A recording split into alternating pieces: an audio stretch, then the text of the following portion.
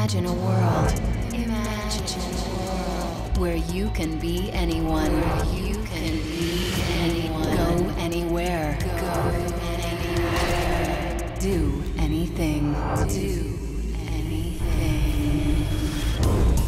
Robotic human surrogates combine the durability of a machine with the grace and beauty of the human body.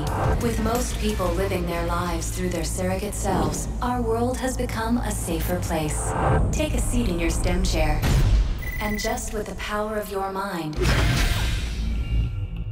you can control your surrogate and send it out into the real world.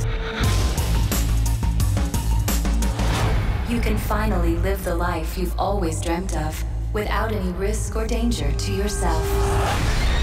We are confronted with an unprecedented situation. Two people have died while connected to their surrogates. I think we may actually have a homicide here. First one in years. The public cannot be allowed to get the idea that using a surrogate can be fatal.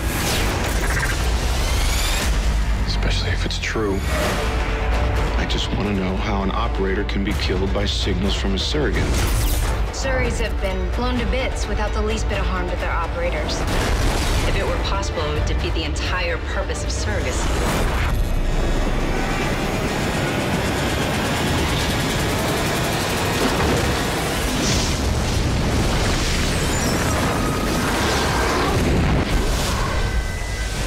Oh my god. Tom? You're lucky to be alive. Good thing you unplugged.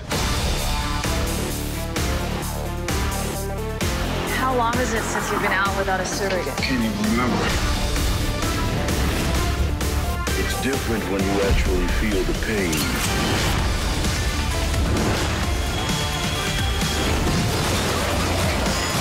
What do you want from me?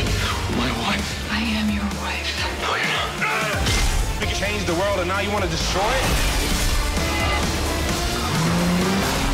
Surrogacy is a perversion. It's an addiction. How do I stop this? You can't. I think something's gonna happen.